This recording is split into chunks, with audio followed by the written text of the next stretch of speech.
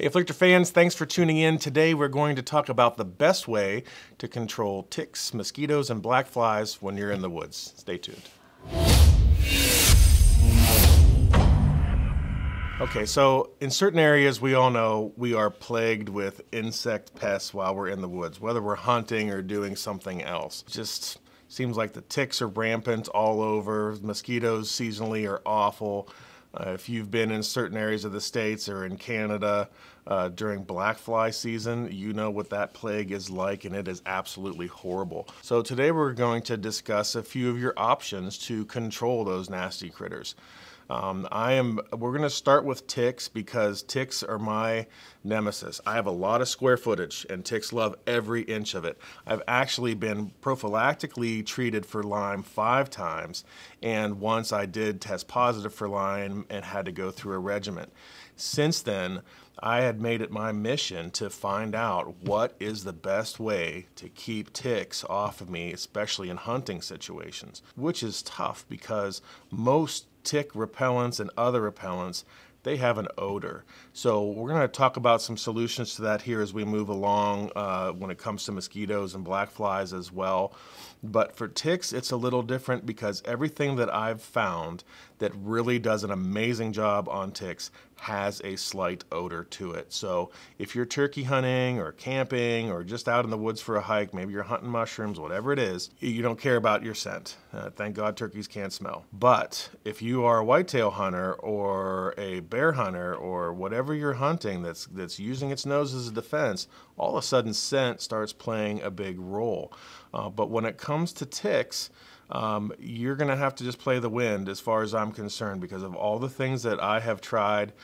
If, if it does not have the 0.5% solution of permethrin in it, it is it is it is not excellent. Now I know there's some new products that just have come out for ticks, and I've used them and they have been effective. But um, I'm a permethrin nut. So if you are whether you're buying in bulk like I do, I treat all of my clothes in bulk. So I'm buying a concentrated solution, I'm diluting it to that recommended 0.5%, putting in a big spray bottle, and before turkey season, even before I'm scouting, way before, I am doing everything that I'm going to wear for the year. I'm hanging it up, I'm dousing it, I'm drenching it. The good thing about permethrin is that it lasts for a long time. You know, you'll see some studies that'll say you can almost get 60 days out of it or several washes.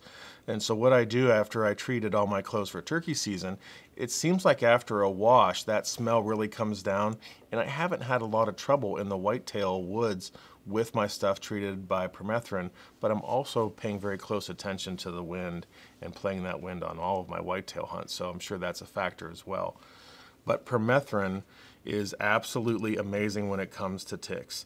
It they it, it kills them. Now it does nothing for mosquitoes because you cannot put this on your skin. This is for your clothes only. But the ticks get on it and they are paralyzed, and if they're on it long enough, they die.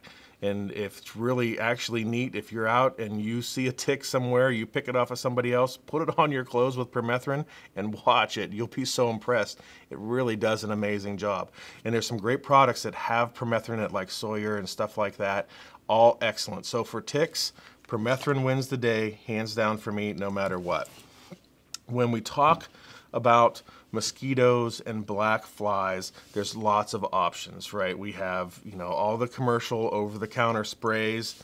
There are some ointment style, uh, like this one that is produced in Quebec. It is amazing. It does an excellent job on black flies. It's safe for your skin and, uh, and for mosquitoes as well. Does a great job but all of these have some type of odor. Now, if you're camping or hiking or hunting something without a nose, of course that is still okay um, because you know they are effective products. Uh, there are some non-effective products that I have tried that I don't like. The wristbands, the clip-ons, all those other things. I think these are a little bit gimmicky. Um, the, you know, they fail. The stuff expires quick. You have to keep refilling them and uh, they don't last very long. Some of them are even battery operated like this. Not a fan at all. Not had any, I don't have anything good to report about any of the bands or things that you wear that are small, stuff like that. My hands down favorite when it comes to mosquitoes and black flies is the Thermacell. This product cannot be beat as far as I'm concerned. It has been a lifesaver in the bear woods in Canada, swampy situations where the mosquitoes are all over you.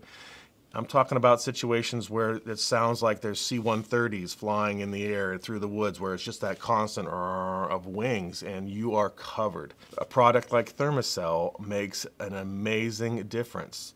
Now, Thermacell has some parts to it that a lot of people don't like to mess with, you know, that runs on butane. The butane is inserted into the bottom of the Thermacell. There is a pad that goes into the Thermacell window right here that is heated up and it emits a small little vapor. Now, most people will tell you that the Thermacell does not have a scent. Thermacell does have a scent, but I'm going to tell you a little bit of a trick that I've been using for years uh, at, at, our, at our bear hunts that has really made a big difference. And that is every time we have a used Thermacell pad, I pop it out and I put it in a Ziploc bag and I save it and I put these at the bait. And that way the bear has gotten used to this. We've also tried it in areas for whitetail where there's baiting. They seem to get used to it as well. Again, for whitetails, I'm a wind guy, but it might be an option for you to try.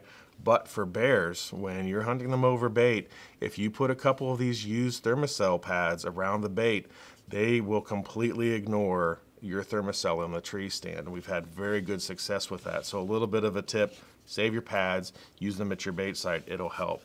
But overall, when it comes to mosquitoes in the woods, not having anything on your skin, not having to worry about DEET on your body or anything like that, the Thermacell is the hands down winner for black flies and mosquitoes.